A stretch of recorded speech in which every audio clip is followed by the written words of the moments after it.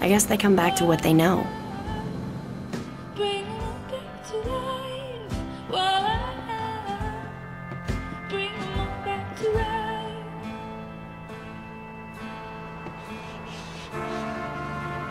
People say it's pretty cool.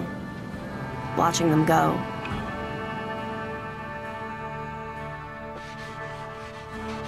They say you can actually see the moment. When, at some mysterious signal, all at once, the birds decide to leave.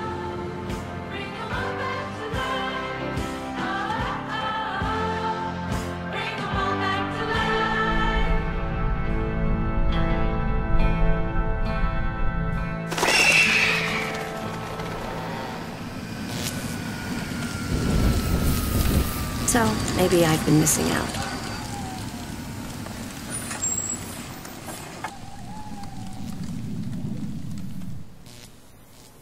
Whatever. There's always next year.